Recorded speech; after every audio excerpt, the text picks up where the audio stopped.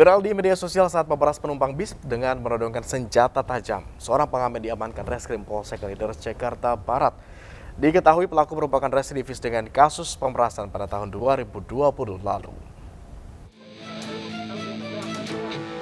Inilah aksi FP yang viral di media sosial saat meminta uang secara paksa kepada para penumpang bis dengan menodongkan senjata tajam di Terminal Kalideres Jakarta Barat. Berbekal rekaman video inilah, pelaku akhirnya diringkus unit reskrim Polsek Kalideres. Selain mengamankan pelaku, polisi juga menyita barang bukti sebilah pisau serta baju yang dikenakan saat menjalankan aksinya. Menurut Kapolsek Kalideres AKP Syafri Swasdar, pelaku merupakan residivis dengan kasus pemerasan pada tahun 2020. Dalam melancarkan aksinya, pelaku yang berpura-pura sebagai pegawai ini kerap menodongkan senjata tajam untuk menakuti korban. Pelaku naik ke bis Murni Jaya. Kemudian dia memaksa minta uh, kepada penumpang sejumlah uang dengan mengancam memakai pisau.